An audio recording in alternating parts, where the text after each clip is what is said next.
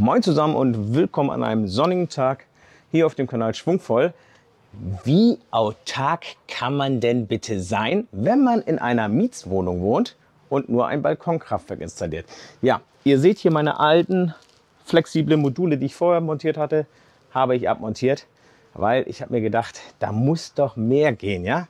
Und wenn man so ein bisschen merkt, dass da was geht, dann will man alles haben.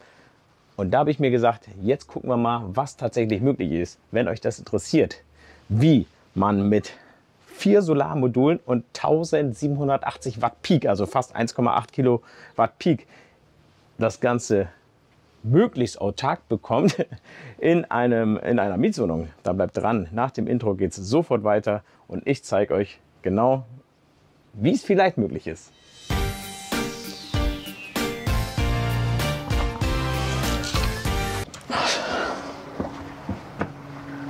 Ja. das ist es. Was ihr hier seht, das ist das neue Anker Solarbank 2 Pro Modell mit vier integrierten MPPT-Treckern und einem eingebauten 1,6 Kilowattstunden Speicher. Aber das reicht ja nicht, überbezahlter Busfahrer da oben. Ähm, das reicht ja nicht, deswegen habe ich da noch was.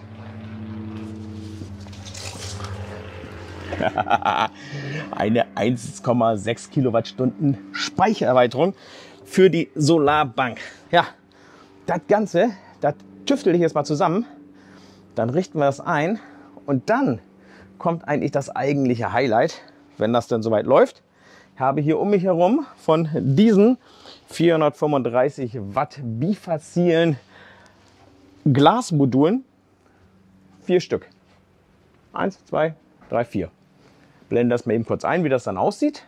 Es ist ein bisschen enger geworden hier auf dem Balkon, aber ich möchte ja wissen, was geht. Also habe ich jetzt, ähm, und deswegen brauche ich ja die Pro mit den vier Eingängen, vier große Module und viermal 435 sind 1780 Watt Peak. Kriegst du natürlich nie gleichzeitig, aber schön gleichmäßig über den Tag verteilt. Deswegen habe hier so eine leichte Südausrichtung West-Ost, äh, West-Ost, sorry. ähm, und somit will ich, also das ist die Idee, so viel Sonne wie möglich über den Tag verteilt einfach mitnehmen. Und wie das funktioniert, das gucken wir uns jetzt an. Ich schließe jetzt erstmal an und dann geht es gleich sofort in die Einrichtung mit der App. Maximal einfach, ich zeige es euch.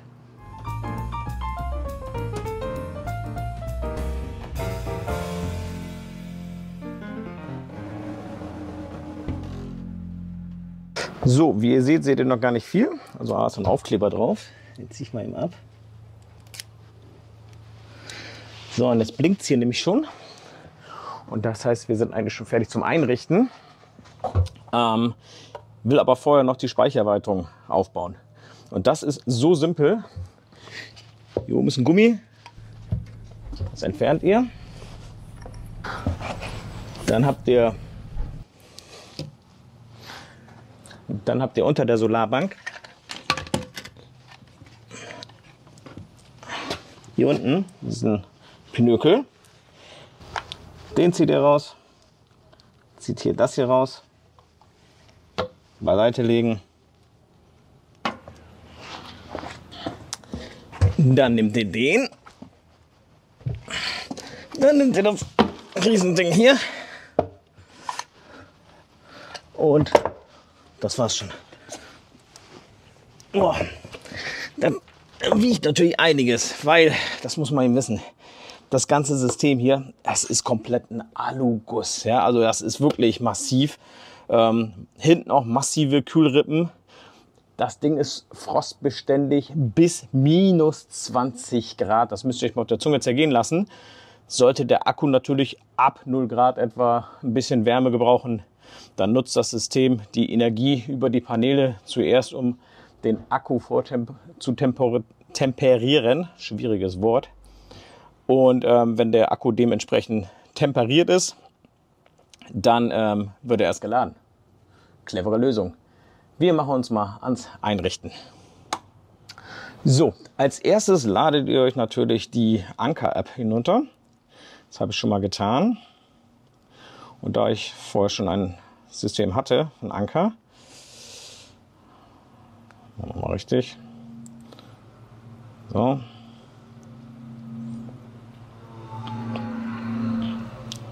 so. Verwendung zum alten Gerät wurde getrennt. Ein Gerät hinzufügen. Ihr seht jetzt hier sofort die Solarbank 2 E 1600 Pro. Warum E 1600? Das ist die Speichergröße 1,6 Kilowattstunden. Wie gesagt, die vier MPPT-Tracker jeweils mit 600 Watt Eingangsleistung in Summe, also maximale Eingangsleistung von 2,4 Kilowatt Peak. Ich habe 1,8, ist noch ein bisschen Luft. So, jetzt klicken wir mal hier drauf. Näher ans Gerät bringen und das ist tatsächlich ein guter Rat. Ähm, der braucht natürlich ein bisschen Nähe. So, mein WLAN hat er sich schon geholt. Jetzt scannt er das Ganze hier.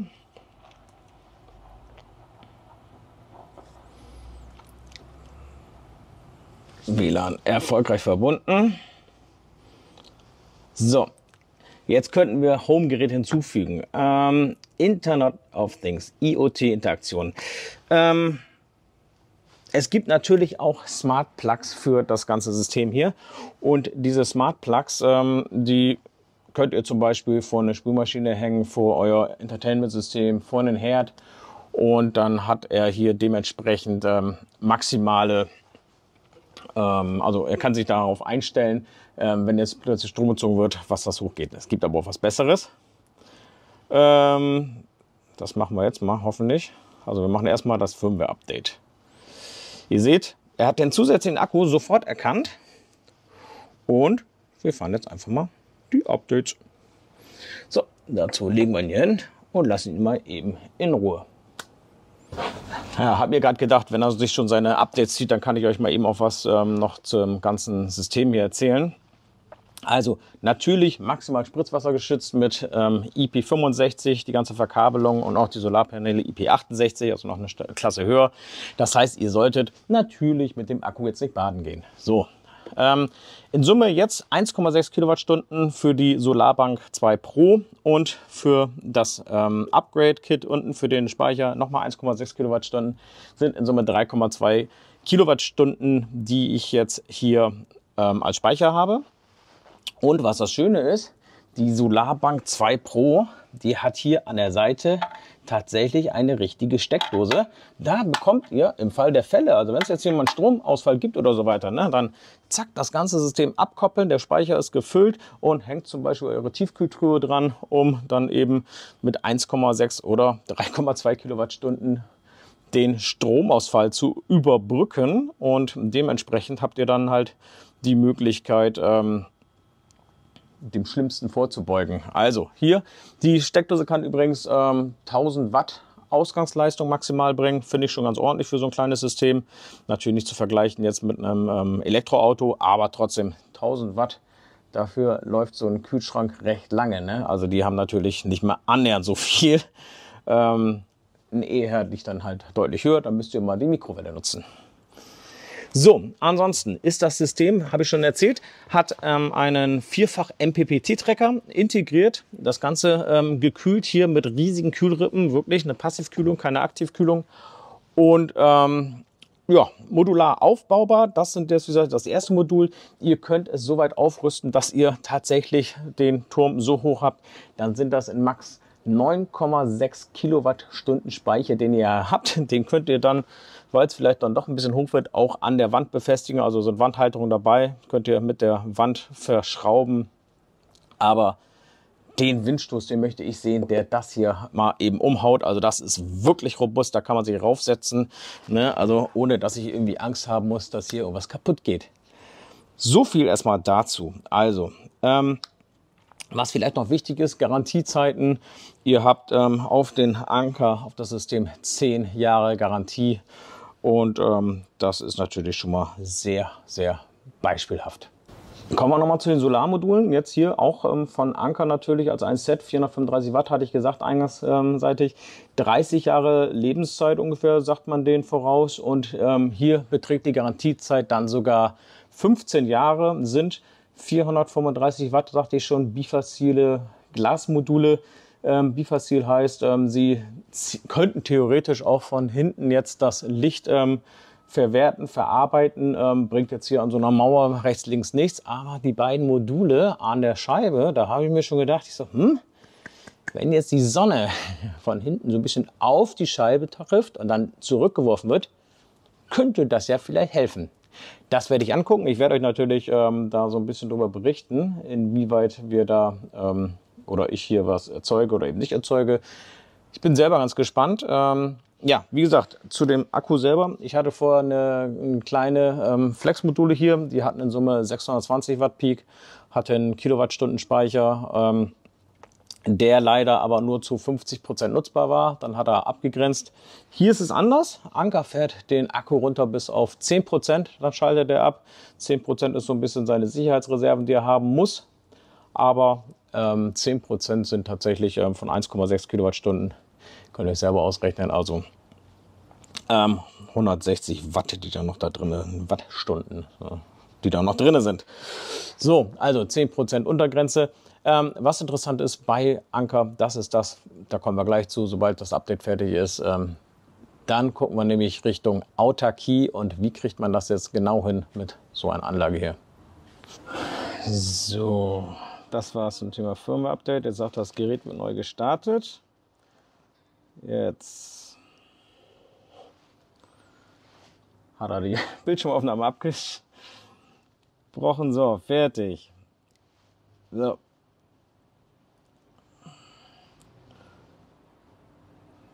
So. Initialisierung des Leistungsmodul-Einstellung. Wir nennen mein System erstmal schwungvoll.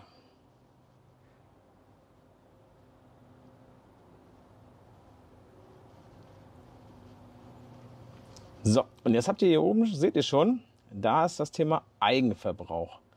Das, ähm, das zeige ich euch jetzt. Hier gibt es nämlich den sogenannten Smart Meter.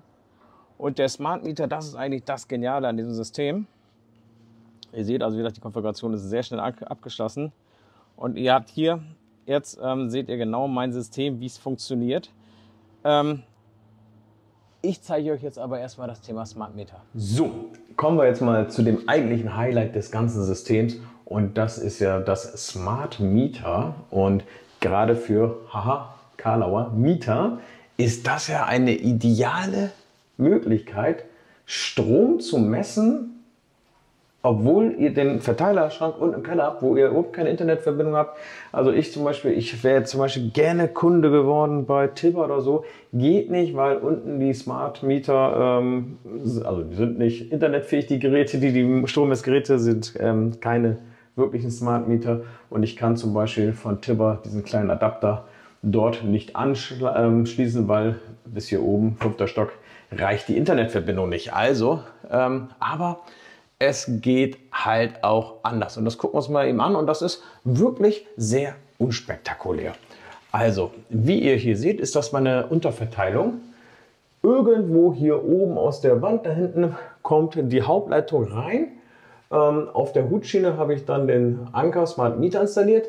Und jetzt seht ihr hier diese dicker, dicken Dinger hier. Bub, bub ähm, L1, L2, L3. Der hängt halt auf, ähm, auf dem L1, auf dem Braun, L2 schwarz, L3 grau.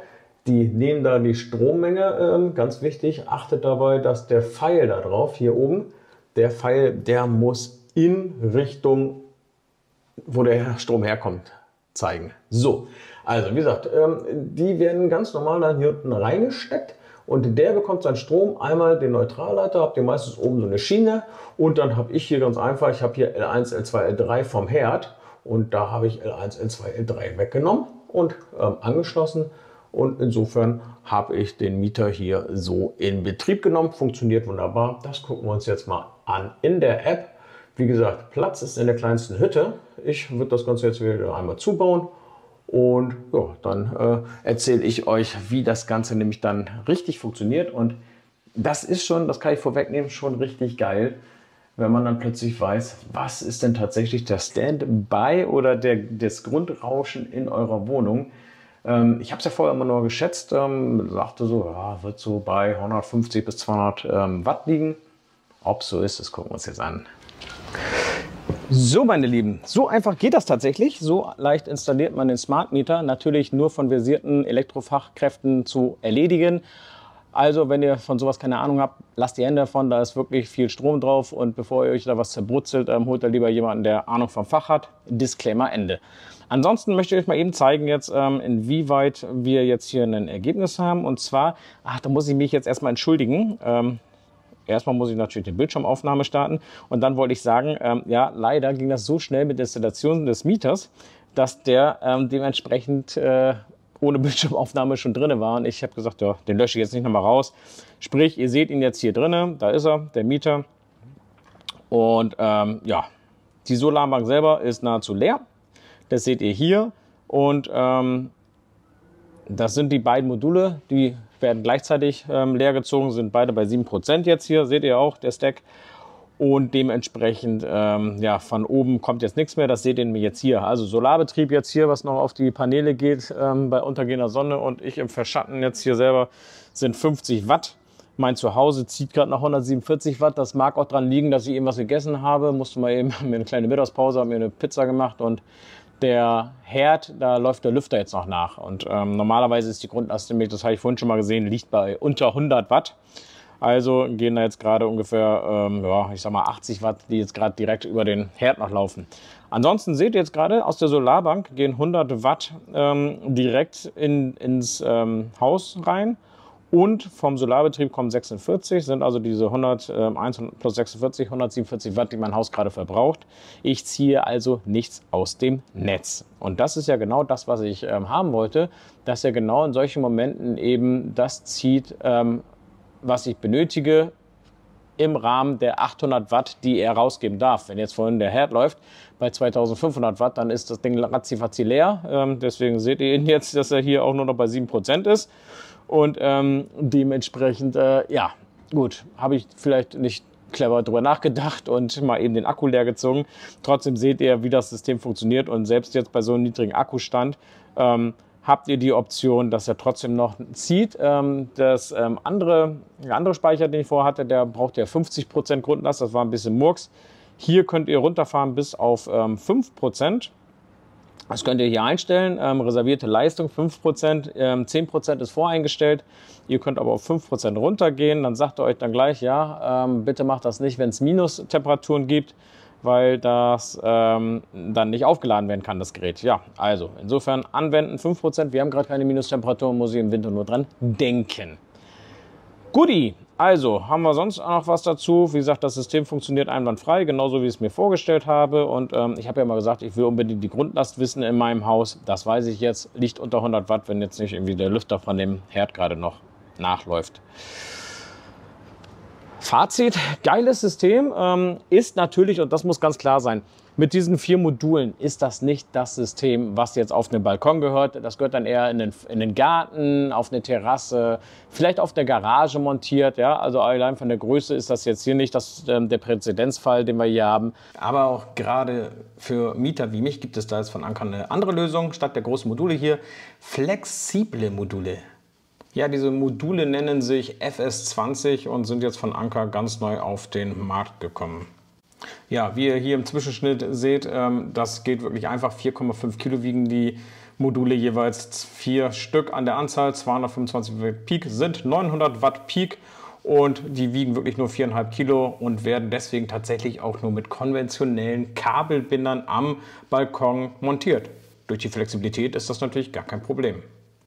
Das Schöne ist einfach, dass wenn ihr kein Eigentum besitzt, sondern zur Miete wohnt, ihr natürlich hier das ganze Set einfach auch wieder demontieren könnt und mitnehmen könnt und in eure neue Wohnung einsetzen könnt. Und wenn ihr es später dann auch irgendwie auf einen Wohnmobil setzen wollt, könnt ihr selbst das machen. Die sind halt so flexibel. Ähm, ja, ich liebe flexible Module, ihr wisst es, und ähm, ich feiere es echt, dass Anker sowas auch hat. Wie ich eben schon sagte, 15 Jahre Lebensdauer ähm, und 12 Jahre Herstellergarantie. Ähm, das ist schon eine Hausnummer. Und selbst für das Thema mit dem smarten Mieter, das bei Mietern nicht unbedingt eingesetzt werden wird, hat Anker hier eine Lösung mit den smarten Steckern vorbereitet, die einfach Plug and Play genutzt werden können und zum Beispiel vor euer Home Entertainment System, wie jetzt hier in diesem Bild zu sehen, gesetzt werden oder aber zum Beispiel von einem anderen großen Verbraucher. Ich habe dann jetzt hier nochmal den Waschtrockner genommen, wo ich einfach den smarten Stecker vorgesteckt habe und der Vorteil ist dann, dass sobald hier ein Strom anliegt, sofort innerhalb von fünf Sekunden das Ganze angepasst wird. Wie das dann aussieht, das zeige ich euch jetzt mal eben in einem kleinen Zwischenschnitt. Ja, und wie das mit diesen smarten Steckern funktioniert, das seht ihr jetzt hier am rechten Bildrand im Zwischenschnitt. Sie werden einfach in euer System mit integriert. Hier seht ihr die Solarbank sowie den Wohnzimmer und den Waschtrockner als Stecker angegeben hat. Und ähm, zu eurer eingestellten Ausgangsleistung von zum Beispiel 200 Watt kann man dann die beiden Stecker hinzufügen und sobald dort ein Strom anliegt und jetzt im Moment liegt hier ein Grundstrom von 2 und 6 Watt, also 8 Watt an, deswegen seht ihr oben rechts dann auch 200 Watt, 208 Watt, sorry, Output. Ähm, insofern, sobald dann da ein bisschen mehr Strom kommt, wird natürlich dieser Strom dann herausgegeben und ähm, die Solarbank ohne Mieter ähm, gibt den Strom ab, den ihr mehr verbraucht, weil ihr gerade zum Beispiel Fernsehen gucken wollt. Also geile Lösung, oder? Wenn euch das übrigens interessiert, aktuell hat ähm, Anker bis zum 25. August noch eine Sonderaktion. Da ähm, könnt ihr bis 700 Euro tatsächlich auf vorgefertigte Sets sparen mit großen Speicher, mit großen Modulen, je nachdem nach Gusto, was ihr haben wollt ähm, Gewinnspiele dabei, ähm, Gratisbeigaben und so weiter. Also guckt ruhig mal auf die Seite von Anker und sucht euch da das Set raus, was euch am meisten gefällt. Ich kann die Solarbank 2 Pro nur empfehlen in Verbindung mit dem Mieter. Einfach ein geiles System. Und ähm, ich werde euch darüber informieren, ähm, inwieweit jetzt im Sommer noch was an Strom erzeugt wird und nicht zu vergessen, die 1000 Watt aus der Steckdose, wie oft ich sie brauchen werde, nicht als Notstrom Aggregat oder Notstromsituation, sondern weil ich überlegt habe, wenn es jetzt einen Grill gibt, einen elektrischen mit 1000 Watt maximal, dann werde ich mir so ein Ding mal an, äh, bei, äh, an, anlegen und werde mir dann ähm, mal gucken, ähm, wenn so ein Akku voll ist am Ende des Tages mit den Perform-Modulen, ob man damit dann auch mal eben zwei, drei, vier, fünf Würstchen grillen kann. Weil wie geil ist das denn, wenn ihr dann wirklich nur mit der Sonne aus der Energie euer Abendessen hier auf so einer Terrasse genießt. In diesem Sinne, euch noch einen schönen Abend. Ich werde ihn mir jetzt auch machen und dann demnächst mehr hier auf meinem Kanal. Ciao.